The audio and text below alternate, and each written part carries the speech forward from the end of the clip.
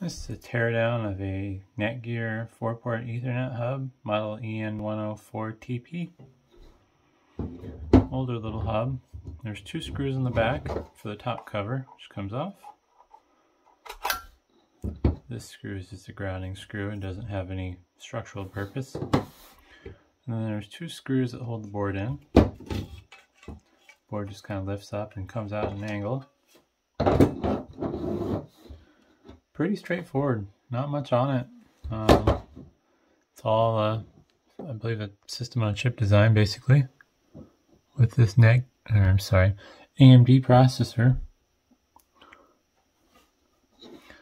It is surprising, granted, as this is older, I suppose not too surprising, but has this nice mechanical switch, which is a mode switch. Changes it from normal to uplink. Not quite sure what they mean by that, but definitely different. They probably could have done that with the tactile push button. Looks like the electrolytic caps on this one haven't gone bad. And there's even off the shelf LM340 T5 voltage regulator. I believe I'd have to look it up, but my guess is it's a 5 volt rated voltage regulator. Nothing on the bottom side.